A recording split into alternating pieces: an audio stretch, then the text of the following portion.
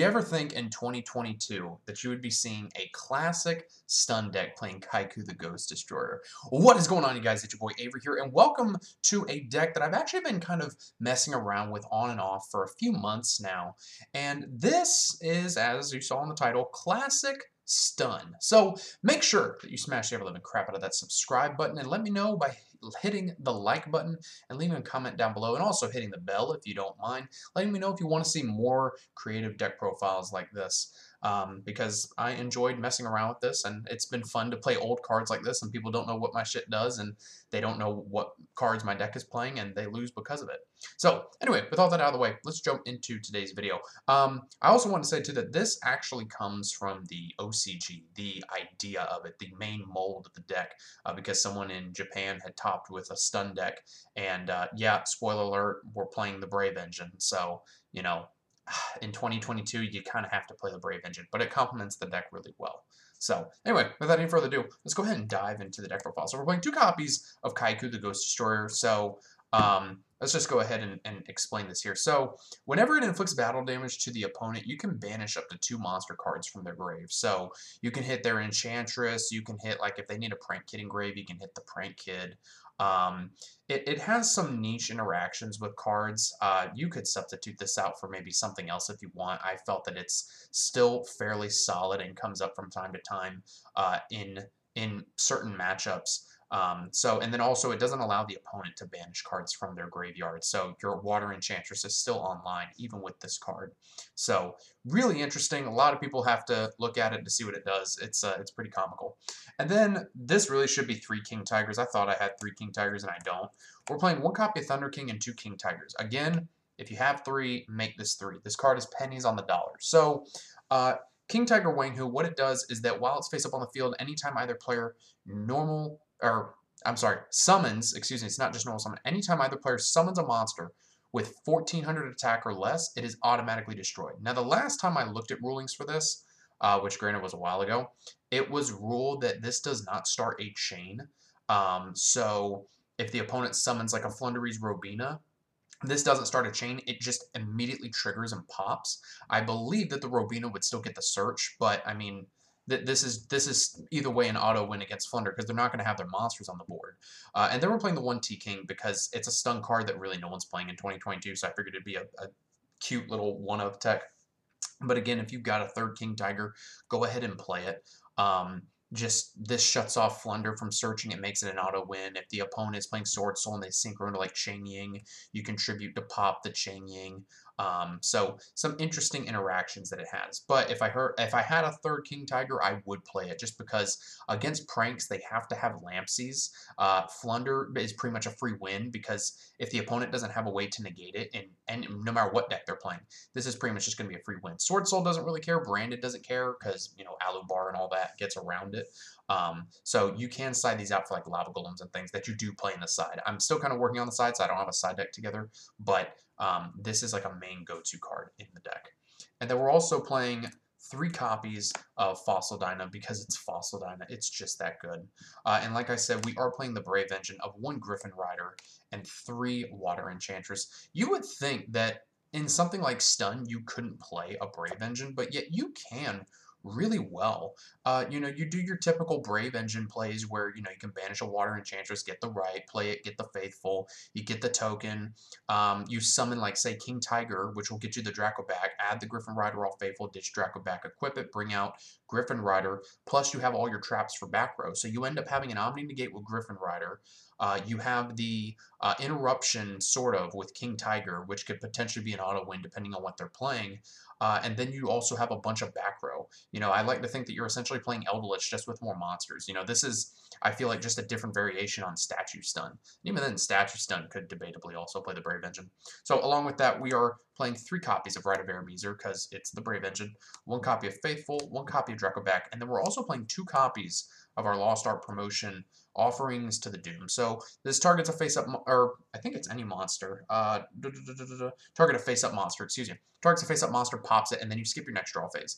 Um, Somehow I only have one compulsory evacuation device. I don't know how, um, but if you have three compulse, you want to play three compulse. I like this because it's another monster removal and it's a quick play that you can just use during the opponent's turn.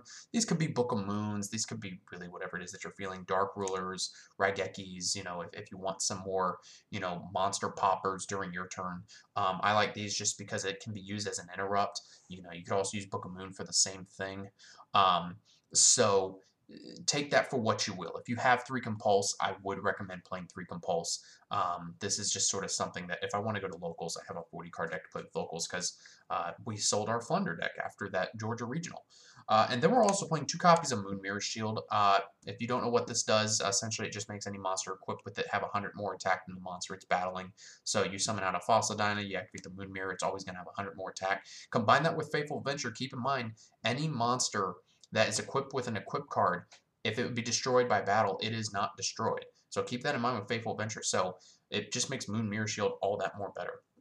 And then we're also playing three copies of Pot of Extravagance. In a deck like Stun, you want to just get that draw two instead of just the one of six with Prosperity.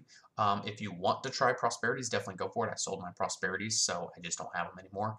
Um, but I felt that in testing, three Extrav was definitely more helpful than Prosperity. And then we're playing the three copies of Pot of Duality because you want to get through your deck and get your resources as quick as you can. Uh, one Feather Duster uh, because you also play two Dogmatika Punishment in this deck, and I don't have Dogmatika Punishments, so if you have Punishments, play Punishments. And if you have Elder Entity N'tss, play three copies of that in your extra deck. Um, so yeah, that, that this is a substitute. I, If I remember correctly, for one of those, um, I thought that there was another card I was playing uh, in place of that, but uh, the card escapes me. So, and then we're playing one copy Foolish Burial to round off the spells. For the traps, we're playing three copies of Solemn Warning because we're a stun deck, three copies of Solemn Judgment because we're a stun deck, three copies of TC Boo because the only monsters of the same type that you play is Kycoo and Water Enchantress, which are both spellcasters, and that never comes up. So King Tiger is a beast, Gryphon Rider is a wing beast. The Rite of Aramesir Brave token is a fairy, so you never really have to worry about your monsters um, colliding with each other. Um, Fossil Dyna is a rock, so again, you not really something that you got to worry about. Uh, and then we're playing one Compulse because we only have one, uh, and then one Ring of Destruction. That was the other thing. Um, that replaced the second punishment. So the first punishment was Feather Duster, second one was Ring. Uh, if you got punishments, definitely take out Ring and Feather Duster, throw in the two punishments. I felt that uh, Feather Duster would be a good little tech just because, you know, if you're going against something back row heavy like you, you want to be able to have an out to that back row. Um, the side deck, it's still something I'm working on. However, um, there is a lot of things that you can run. Uh, I'm really liking Lava Golems in the side deck because you can take out your Wang-Hus and throw in Lavas because Wang-Hus aren't going to be good in every matchup. Um, you can also run Winter Cherries if you have the funds, you know, to uh, play three DPE in your extra deck because then you can just use Winter Cherries to hit the DPE and it just fizzles out that whole engine. Uh, that was what the OCG build was originally playing. The OCG build was also originally playing Imperial Order, which obviously is now banned in both TCG and OCG, so it was really a 41 card main deck. Um, you can also, you know, play anti-spell instead if you want or, or something like that. You know, you're, you're playing a stun deck, so you want to lock the opponent out of their plays as quickly as you can. Um, I felt that overall this has been pretty good in testing even with the cards that I don't have. But again, if you have access to those cards, you can play those um, or just go on EDO Pro Dueling Book or something and play it there. The deck was also originally playing Paleozoic Dinomischus, which is good, but the thing is, is that sometimes you don't want to ditch your traps uh, just to use a Dinomischus to hit a monster. So I ended up just opting for Solemn Warnings in the main deck uh, and then having Dinomischus in the side. Uh, so you could play, you know, three Winter Cherries, three Lavas, three Dinomischus, a Twin Twister. Um, there's a lot of different things that you can play in the side, um, and I highly encourage you to test this yourself and see what things you think should be added in or taken out or put in the side. Um, but definitely three lava and or three sphere mode because, you know, if you're going second, going second for stun is very, very tough. And you want to be able to have those outs to their board so that you can build yours and not have to worry about what they have. So guys, that is it for this deck profile. Please, if you enjoyed, let me know in the comments below because, you know, uh, we don't really tackle stun all that often on this channel, and to be able to use new cards like the Brave Engine and combine it with old cards is is a good time, and it's it's a fun way to troll the opponent. So thank you guys for watching, and I will see you in the next video.